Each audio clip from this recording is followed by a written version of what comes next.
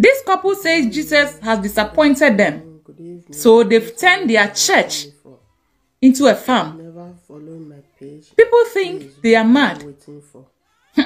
On the contrary, they are not. So, because the fact that a person is having some mental health challenges doesn't mean they are mad.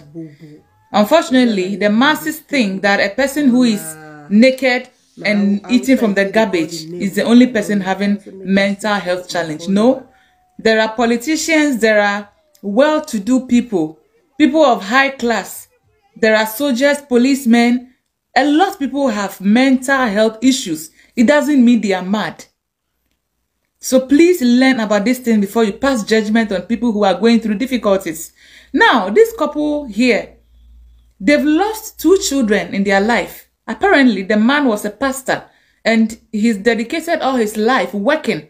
I've had the opportunity to just pay attention closely to all their videos and I've watched the video from beginning to end from Kofi TV. And watching them, there is more to this story. Just listen to advice she's giving her little child. This is so sad.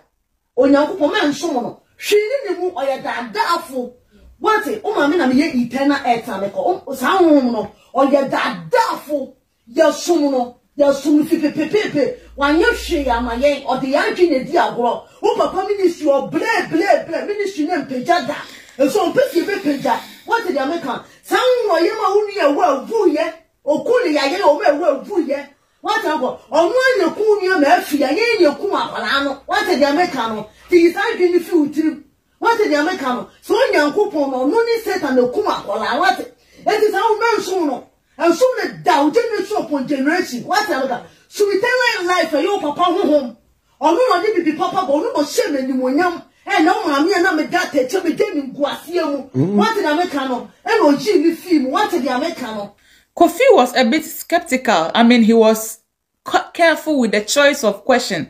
The man actually thinks before he talks, but the woman is just revealing a lot. That might put them into trouble. Now, they lost their children, and the woman is claiming that the husband sacrificed the children. This calls for an attention because at the end of the day, looking at how things are going, the police might invite them soon. Now, the couple, I agree with them and disagree with them to some extent. They are saying that they are no more religious and now they are spiritual. I do agree with them in that aspect because now I am also spiritual. And being spiritual actually opens your mind. Religion actually restricts you in your level of thinking. But being spiritual helps you to understand how nature works. Being spiritual makes you understand how the world operates. Being spiritual teaches you that you live to reap whatever you sow. Being spiritual teaches you that the world is like a boomerang. What you give is what you get. Becoming spiritual and paying attention to my spirituality has helped me to reduce certain things I used to do. Before, I could just pick anybody, do video about them without thinking about how they feel. But being spiritual teaches me that before you make a step, pause, think. Now, when I want to make a video about anybody, first of all, I ask myself, how would the person feel when they see the video? Number two, I ask myself, if the same video is being done about me and I see it, how would I feel? When you begin to understand the human nature and understand spirituality, you will limit your level of hurting people.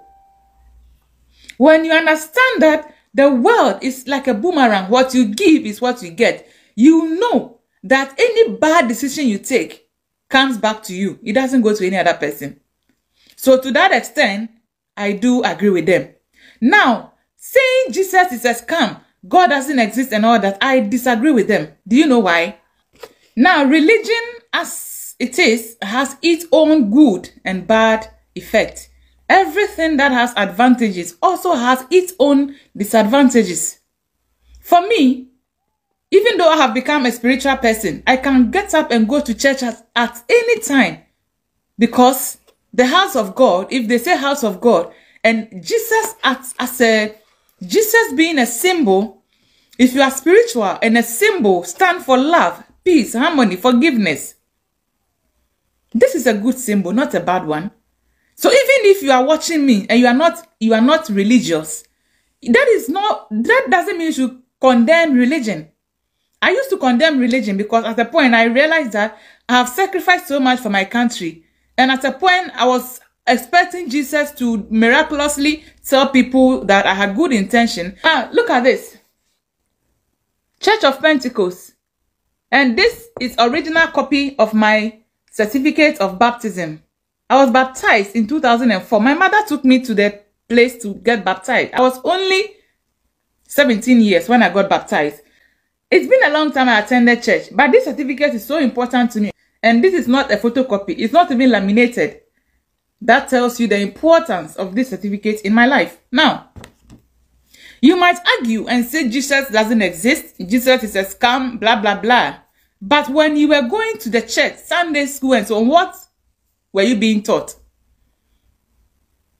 In the church, they will tell you if you drink, you will go to hell. If you smoke, you will go to hell. Actually, these things were actually things that will guide you in your lifetime. Even though there might not necessarily be any hellfire. These things actually, when you do them, you it affects your own body. It doesn't affect me. So even though this kind of teachings put a little bit of fear in us, this it actually helped. Aisha, For me, I can tell you whether na Igbo, vividly that me going through all the storms in my life, call the name, I never f- doesn't make I found alcohol to be anything that could help me. I never seen smoking or doing drugs that will help me. No, I am not here to preach that I'm I am perfect or I'm righteous. But then the teachings you receive when you are a child, it goes a long way to help you when you become an adult. I drink occasionally. Sometimes two years, three years, I've not tasted alcohol. I go to parties, I go to food, and people are drinking. And yeah, me say me no- me come because when I was young, I didn't do that. Now, if you listen to this couple very well, they are in pain. Forget about them dancing and pretending as if they are happy. I have been there before. Actually, they have not been able to recover from the loss of their children. Let me teach you one secret about life. Not everybody can recover from a loss. That is why some people even commit suicide because they can't deal with the loss. But if you know certain things about life and spirituality, these things will help you recover. Before you recover, you have to understand one thing. To be able to recover from every storm, you have to remember only one thing, which is everything in life is temporal. Everything in life is temporal. If you don't learn and accept the fact that everything is temporal, you can never recover from any loss. Now, your children in your life, they are temporal. Because even you can lose them. Anything can happen. Accidents do occur. The children might die. But if you know that everything is temporal, that means anything that you have now, you can lose it at any given time. Consciously, you have prepared your mind. Mentally, you have prepared. Psychologically, you are equipped that anything that you have now can go at any given time. Because even children grow and they marry. Even if nothing bad happens, they grow, they get relationships, they go far from you, and sometimes you never get to see them again. Husbands and wives, they are temporal.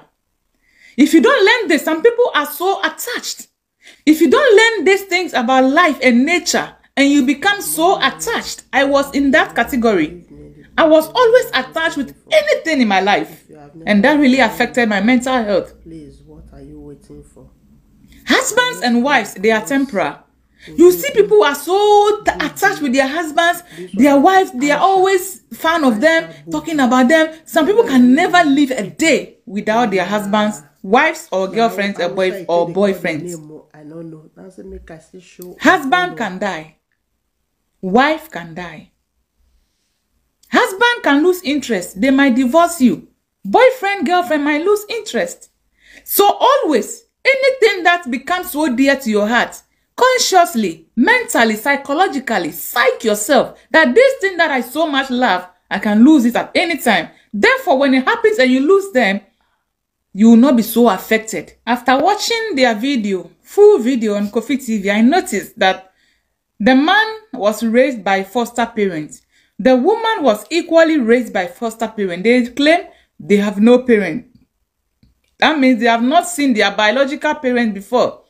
This is where family comes in. This is why family is very important in anybody's life. Even if for some reasons you can't raise your children and they are being raised by somebody, you should never be absent in their lives forever. They feel neglected by even their own parents. This pain has been with them. It's a pain and trauma. No matter what happens in one's life, the love of a mother is irreplaceable. Nobody can love you better than your own mother. So no matter how your mothers are, your grandparents are, never neglect them. Love them and care for them. Be grateful that you still have parents. A child who is in foster care, no matter how well that foster mother might have taken good care of them, the absence of their biological father affects them in the long term. The child might be might be well taken care of, but the fact that they grew up knowing that their biological parents had abandoned them, never vis visiting them, could affect their mental being. That is why no matter what, I am always available for my son. No excuses, no matter where I am. Sometimes even when I'm sick. When I was pregnant, I was going there all the time, playing with him. Please, parents, never neglect your children, even if you are sick. Now you see that this situation that they found themselves in, assuming they have biological parent, this is the time that they would have come in to help. Nevertheless, there is one good thing I discovered about them. There is some kind of togetherness, the, the unity and the respect among these two. is something everybody can learn from. They've got each other. Hey, beware. Marijuana is illegal in Ghana. The police will invite them soon.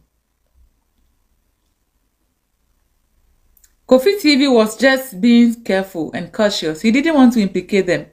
Now they claim they have money. What is their source of income? That's another question. What is their source of income?